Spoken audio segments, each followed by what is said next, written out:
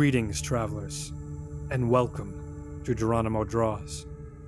In this video, we'll be discussing Mordrin's most diabolical sorcerer, the Dark Lord, Cyphus. For those of you who have been following the Blood Realm saga, should be familiar with this character, as he plays a pivotal role in the first miniseries, Dark Covenant.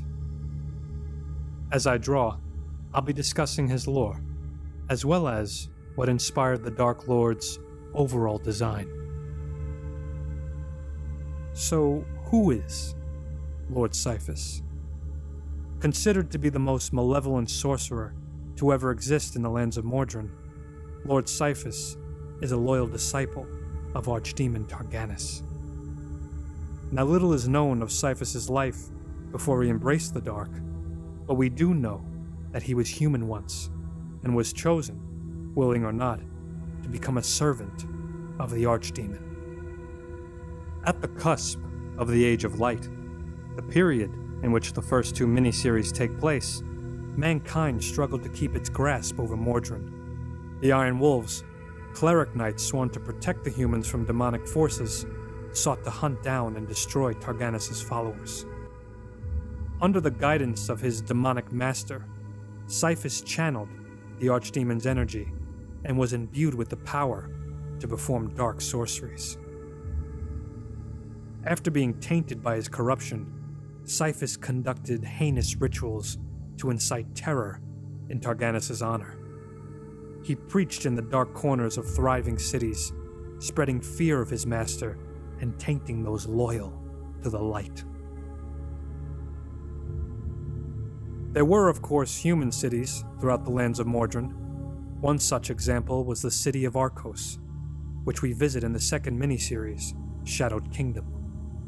It was the capital of Vorgoth, which was governed and protected by the Iron Wolves. It was there that Cyphus preached and reinforced the power of the Dark. The people of Arcos were ultimately influenced by the Dark Lord and succumbed to the will of Targanis.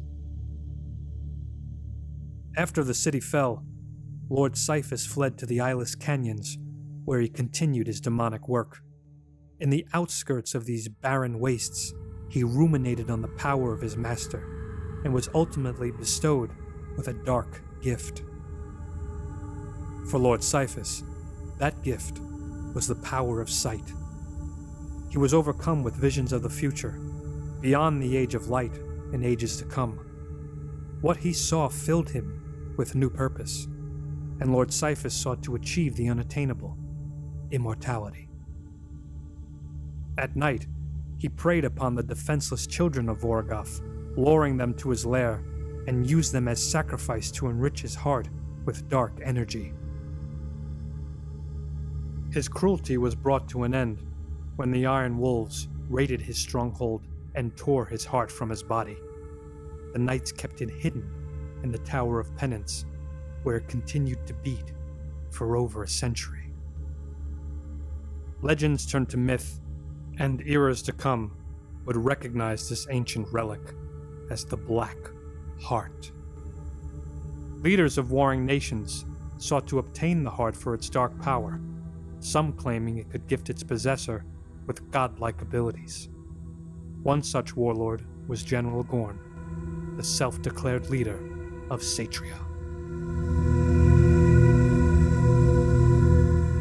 Blood Realm is truly a labor of love, and the design of Lord Cyphus is inspired by many things, including the horror masterpiece, The Exorcist.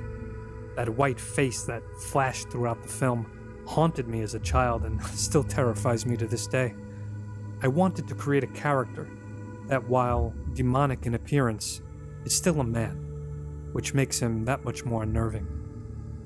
Lord Cyphus is a devourer of innocence, making him, in my opinion, the truest form of Boogeyman.